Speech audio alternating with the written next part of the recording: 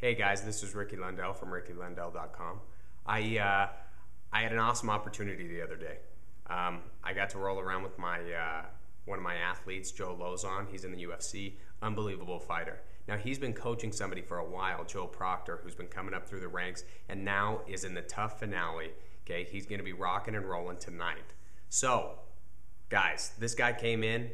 Me and Joe were with him. We're doing techniques, we're doing stuff, and I'll tell you what, he's going to be bringing it. He is ready and he is on, and it's going to be on like Donkey Kong.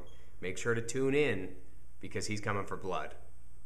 Thanks so much for uh, tuning in and checking out my site.